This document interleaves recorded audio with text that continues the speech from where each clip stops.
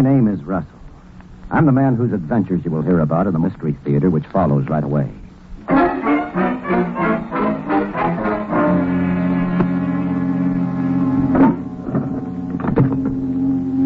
Hello, headquarters. This is Patrolman Witt reporting from police call box number five at Drake Avenue. Any orders? Not an A. Okay. Here? No. This beat as quiet as a church tonight. Yep. Goodbye. What? was that? Gunshots. Came from that direction, too. Here, here. What's going on? Oh, a policeman. I'm glad you came along. Officer, my name's Murray. I what are you doing with that gun? Drop it. Yes, sir, but I want to report a murder. Wait a minute. This man here. He's dead.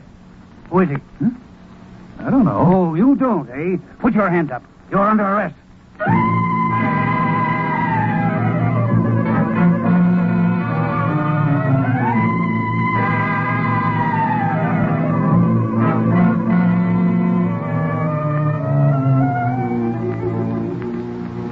Good evening, ladies and gentlemen. This is Geoffrey Barnes welcoming you to the program that presents the best in mystery and detective fiction. You have just heard the opening scene of tonight's exciting story. It is entitled The Eleventh Juror, written by Vincent Starrett and presents one of the most unusual court trials in mystery fiction. You have just heard the committing of the murder and the arrest of the accused, James Murray. But on with the trial. We take you now to the jury room where you will meet the leading character of Vincent Starrett's dramatic story, The Eleventh Juror.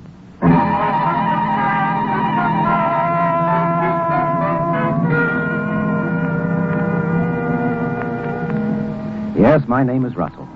Steve Russell. I'm the 11th juror of the jury assigned to the case of the people versus James Murray. We've been out for two and a half days, and every ballot we've taken has had the same result 11 to 1 for a guilty verdict. I'm the one. I'm the holdout. And by now, my fellow jurymen are crying to go home and beginning to hate me. Hate me because I won't go along with them and hang an innocent man. Now, wait a minute, wait a minute, please. Now, wait a minute. Quiet down. Now, look here, Mr. Dean. Being foreman of this jury doesn't give you the privilege of riding roughshod. I demand that we take another ballot. Riding roughshod, huh? Look who's talking. Mr. Russell. As you well know, we've had 27 ballots now. And unless you're ready to change your Hold vote, on, hold on. How do you know some of the others won't change their vote? Now let him have his ballot, Dean. Maybe it'll make him see the light. Okay. So we'll have another ballot. Get out the pencils, boys. Well, I got writer's cramp. Can't we just have a voice vote? Yeah, that's an idea. Okay. Okay. Voice vote it is. And Russell, if you lose this time, I hope you'll get over your pig-headedness and come along with us. I'm not half as pig-headed as you are, Dean. Oh, you're not, eh? Well, let me tell you. Come on. Are we going to vote or aren't we? All right. All right. All who vote guilty, say aye. Aye. All opposed? Hey? Eleven to one. Same old song and dance. Well, I'm sorry, boys, but like I've said before, unless one of you can prove to me that James Murray had some motive to kill Howard Oh, Blessing. motive be hanged. Murray was drunk. He shot Blessing in a drunken rage. Oh, don't waste your breath arguing with him. In two hours, the judge will be calling this a mistrial. And then some other jury can put the noose around Murray's neck.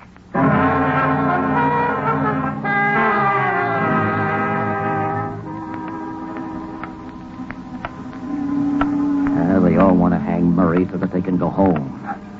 Well, who doesn't want to go home? I dare say my business suffers from my absence more than theirs does. You know, if it wasn't for Dean, I think my argument about James Murray having no motive for this killing would carry more weight. Because Murray didn't have any motive. He didn't have any at all. Uh, let me tell you about the trial, and you'll see what I mean. Uh, just, just the highlights.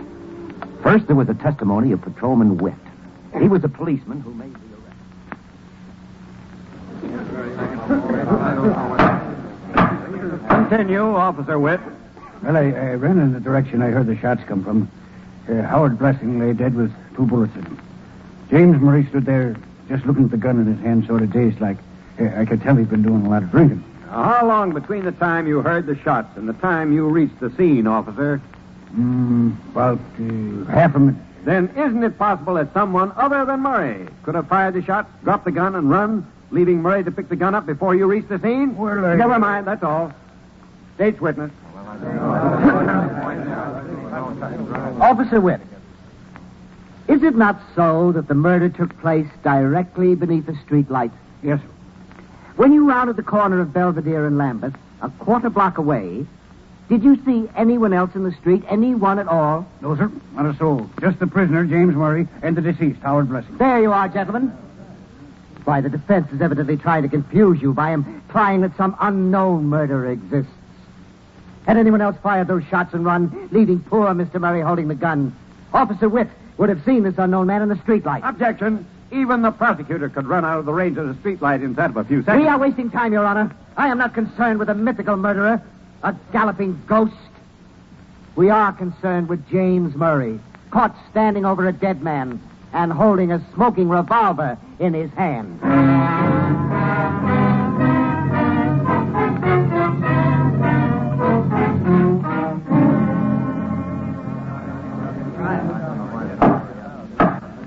Mrs. Pearson, uh, you live on the ground floor apartment on Lambeth Avenue near Belvedere? Yes, sir.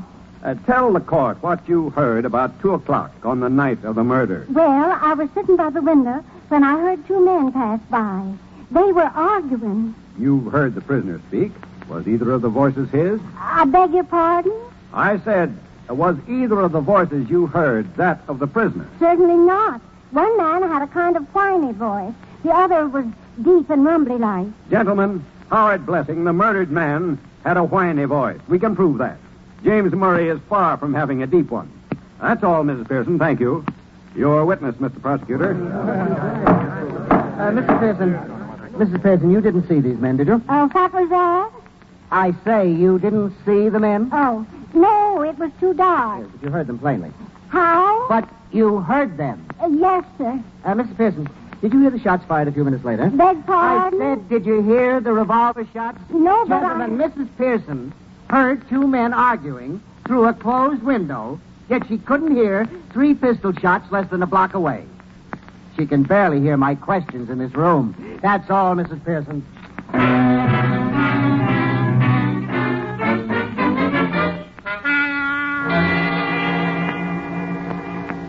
Uh, Mr. Trapp, you've known the deceased, Howard Blessing, for some time, About uh, five years. We were pretty good friends. and you knew Blessing was a widower, Mr. Trapp, whose wife died some years back. Yes. Did Howard Blessing ever show you a small framed miniature of his wife? Oh, yes. Many times. He always carried it with him. Did he show it to you the night he was killed? Yes. Did you see him put it back on his person? Uh, yes. What is the point of this line of questioning? I'm trying to establish, Your Honor, that this miniature disappeared. That it was taken from the murdered man by some unknown person. That's all, Mr. Trapp. Prosecution's witness. No questions.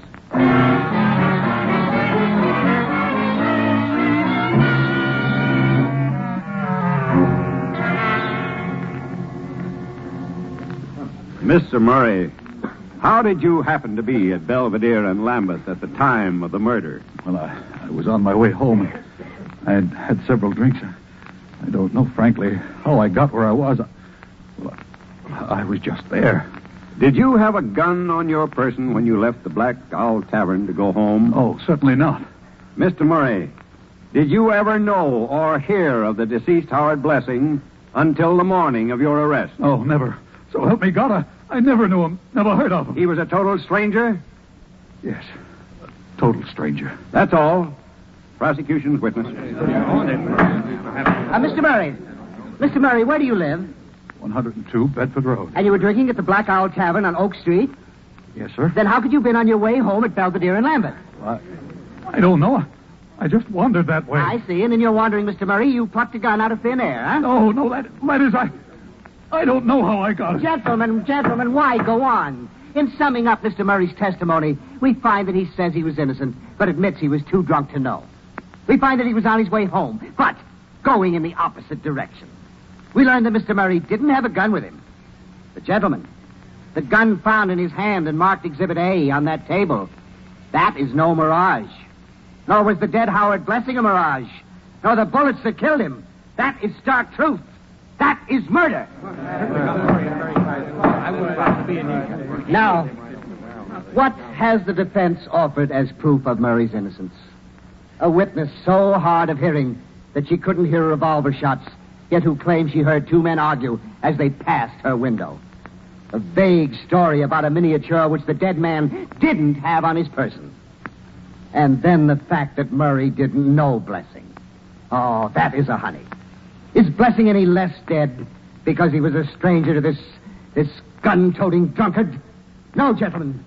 Murray killed Blessing. Stranger or not, he's guilty. Murray must hang.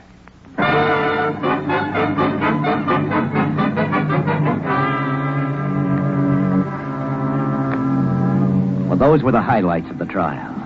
Oh, I admit the circumstantial evidence against James Murray is pretty strong.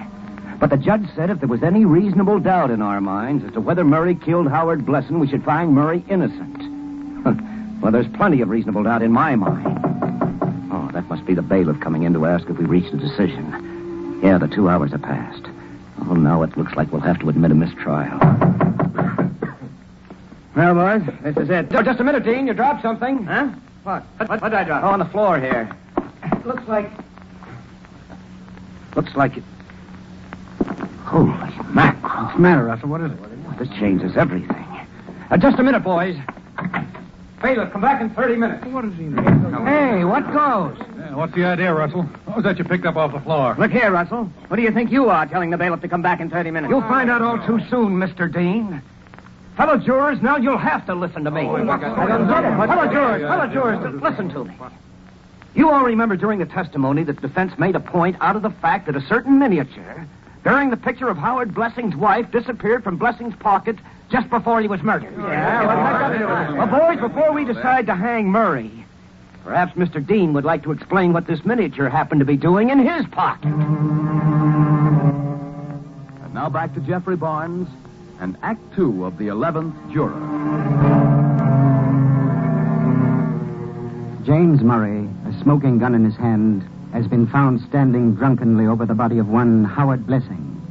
All the jurymen, with the exception of Steve Russell, believe Murray is guilty of murder. Russell has held out for nearly three days. Just as the foreman of the jury, a Mr. Dean, is about to report a mistrial to the court, Russell electrifies the jury room by demanding to know how a mysterious miniature, supposedly belonging to the murdered man, has found its way into Dean's pocket.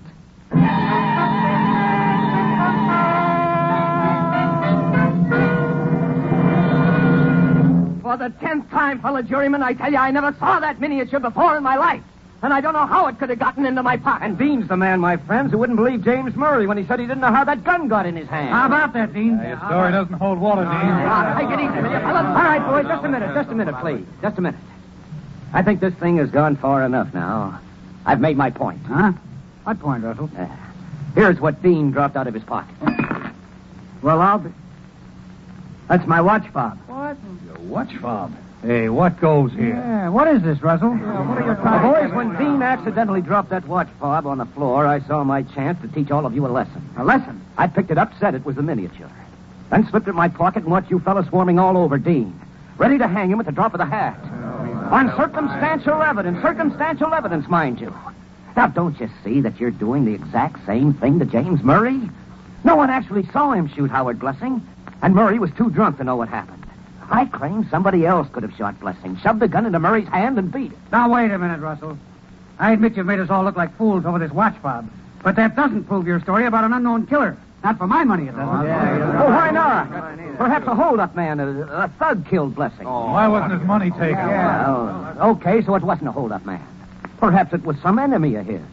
Why, there could have been a hundred different reasons why somebody might have wanted to kill Blessing. Oh, yeah? Name one. Name one. Oh, I could give you a dozen right here and now. I said give just one. What's the matter, Russell? Did he call you bluff? Yeah, you can't even name one. Uh, now, wait a minute, wait a minute. Do I understand you fellows to mean that if I can make up a story showing how Blessing was killed, you'll admit there's a reasonable doubt of Murray's guilt? Huh? Why not? Well, I, for one, would, anyhow. How about the rest of you? Okay, sit tight and hold your hats. As I said, I can make up a dozen different stories. So this is just one way the murder might have happened. now, Now, let's say about ten years ago in a small Ohio town, there's a guy named Smith. Let, us call him call him George Smith. Ten years ago. Some star. Quiet, Now give him a chance. Smith standing on the station platform with a girl, and we'll call her Elsie. She's crying a little, and he's talking to her. He says, I don't want to go, sweetheart. But I can't make a set in this burg. You want to marry me, don't you, dear? and she says, Yes, darling, yes. And I know you're right. I know Father won't let us marry till you've got money and a good job. But it might take so long, and I love you so much. There, you get the picture? Smith is leaving for the big city to make lots of money so the old man will okay his marrying Elsie. Well, the train's about to go and they kiss. And Smith hops aboard shouting, Wait for me, darling. Wait. and she says, Forever, George, forever. Well, get this. She doesn't wait. No, no, no, no, no, no. It's not her fault. Another guy comes on the scene. He's a rat of a guy with flashy clothes and a fast line of patter. And he works on Elsie. Real slow and smooth. And the rat says, Hi, Elsie. Was talking to Tommy in the barber shop today. Says he heard George was doing well in Chicago. He says his father saw George at one of the hot spots there when he was in Chicago last month. Yeah, you see, you see? This home base robber starts slow, but let's say in about a year he's got Elsie so she believes most anything. Now, Look, Russell, I don't see what this corny story of yours has to do with the case. Dean, let me finish. Okay, shoot. By the way, Russell, who is this rat? Suppose we say his name's Howard Blessing. What? Blessing? A murdered man? Hey, what are you getting at? Shut up and let him talk. Now, what happens next, Russell? Well, Smith had no way of figuring out why when his letters weren't answered. He stays on in the city, and finally a wedding announcement reached him. Just a wedding announcement. So, Blessing has ruined the boy meets girl routine, eh? Right, right. Now let's say Smith knows Blessing from way back. Well, it burns him up, see? Mr. and Mrs. Blessing instead of Mr. and Mrs. Smith, get it? But he's a right sort, so he swallows it. Only it hurts going down. Brother, have you got an imagination? You ought to write for the movies. He sure should. But what's all this got to do with Murray? Why do you interrupt so much, Dean? Well, don't you want me to finish the story? Well, I, well, I have no objection. All right, then. Shut up. Go ahead, Russell. Right, right. Now let's say a few years pass, and one day Smith gets a letter. And it's a letter from the girl's mother. It's a sad letter saying, Dear George, my baby married a fiend whose brutality and unfaithfulness finally became more than she could bear. We found my poor little girl hanging in her cellar last Monday as suicide.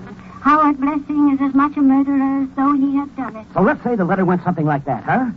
Now, if you fellows sat in judgment on Blessing, what would you do? Wait a minute. Wait a minute. Are you guys going to let him go on with his third-rate version of East Lynne? No skin off your nose, Dean. Now, look, Dean, this is the third time you've interrupted. You sure you haven't some reason why Russell shouldn't finish the story? Why, no. Okay. Go ahead, Russell. Yeah, go ahead. All right, all right, all right, all right. Well, let's imagine Blessing caught sight of Smith in town one day. Might make a guy like Blessing carry a gun from then on, mightn't it? Might. Well, we suppose so, anyhow. Fine. Now comes the night of the murder. Smith runs into Blessing on Lambeth Avenue. Smith says he's going to beat Blessing's head off. They go up the street arguing. And that's what the Pearson woman heard through her window. they get to the corner, and Blessing begins to whine. He takes out the miniature of his dead wife, Elsie, and he shows it to Smith. And Blessing says, Smith, look. I want to show you something. Look, I loved Elsie. Here, I've got her picture.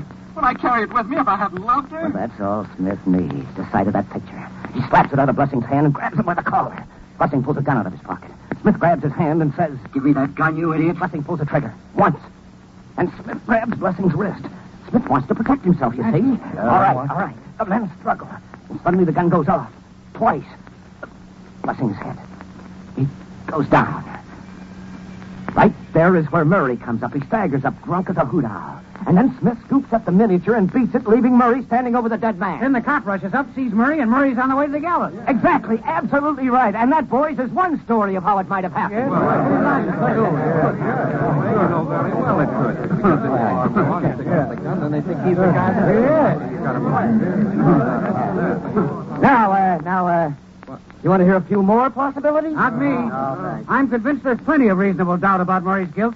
I vote for acquittal. I do too. All right, let's make that official. Let's make it official. All in favor of acquittal signify by saying aye. Aye. Well, that does it. I think we're now ready to inform the court that we've reached a verdict. Not so fast. What? I haven't voted yet. A few questions. Yes, Dean? You say you made this story up? That's right. Then it proves nothing, right? Sure it does, Dean. It proves somebody besides Murray might have killed Blessing. It proves reasonable doubt. Not in my book, it doesn't.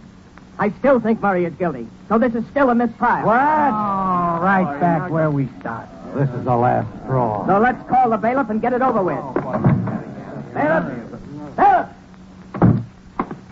He'll be here in a minute, and what do you think of that, Russell? I, I think I'm licked. Huh? I think I can't stall any longer. Huh? Dean, I've convinced everyone but you. Now I'm going to convince you. Take a look at this. What is it? Now, let me see. What's it? This is a miniature. A miniature. That's right. Then this means that you. that you're. Right again. Take a good look, boys. The George Smith in my story is me. Steve Russell. Holy mackerel. Gee, Ossifat. By coincidence, luck, chance, I was called on this jury. And then I couldn't stand to see Murray die. Well, where do we go from here? You called me, Foreman? Huh? Oh, uh, yes, bailiff. You can tell the judge we've arrived at a verdict. Yes, sir. And bailiff.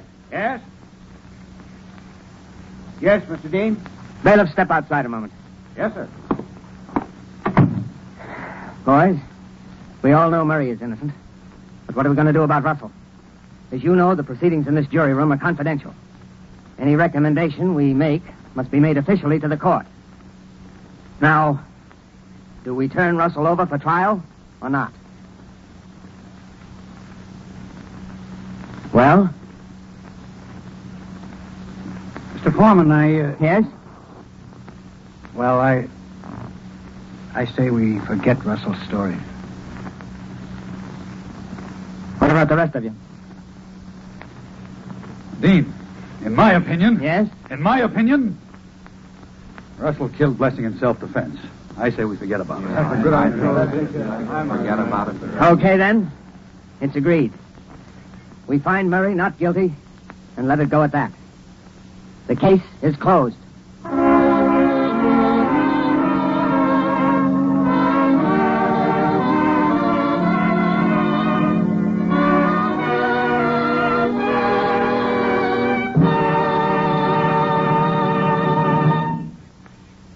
An epilogue to tonight's story. Steve Russell eventually, of his own volition, stood trial and was acquitted. Yes, Mr. Fans, I think we can call the 11th jury's attempt to save an innocent man a complete success.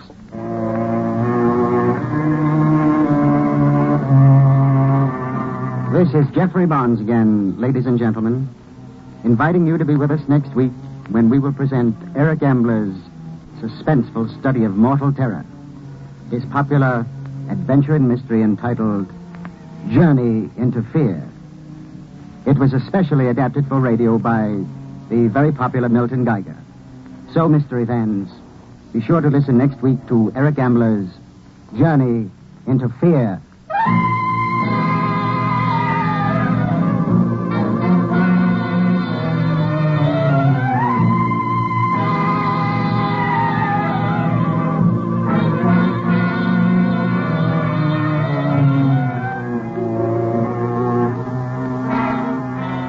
Original music is composed and conducted by Jack Miller. The Eleventh Juror was written by Vincent Starrett and adapted for radio by Christopher Mayo.